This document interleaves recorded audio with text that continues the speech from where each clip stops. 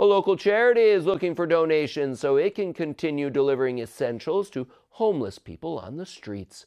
The Wagon Train Warriors are a group of volunteers that pull wagons around Broome County filled with essential goods for the homeless population. What started as four volunteers pulling two wagons has grown to 20 volunteers and at least eight wagons. The volunteers meet homeless people out in the community, whether it be under bridges, on riverbanks, or in the streets, and provide them with food, clothing, and hygiene products. The president of the group, Robin Carter, says they never ask questions and let people pick whatever food or products they need.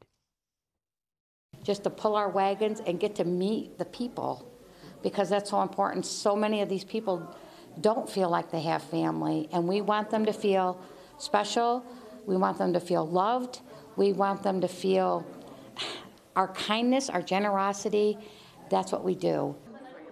Every Monday, the Wagon Train Warriors host a community meal at the Crossroads of Life Church on Exchange Street in Binghamton at 4 p.m. Carter says the group is looking for a building of their own so people can come in and shower or get supplies whenever they need. She says they're always looking for donations of food or clothing. To donate or volunteer, look up Wagon Train Warriors on Facebook.